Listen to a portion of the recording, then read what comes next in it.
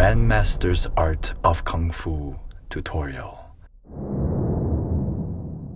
The Southern Chinese Kung Fu system, Hung Gar, is a long bridge style. Hung Gar has wide, swinging arc techniques compared to the comparatively compact motions of Wing Chun. The Hung Gar master has relentless strike. The Grandmaster's Wing Chun uses Dan, Bong, Pin, meaning spade, pin, sheath to defend himself.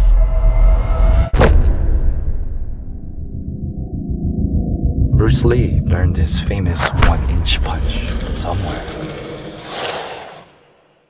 Even a master needs to get off his feet from time to time.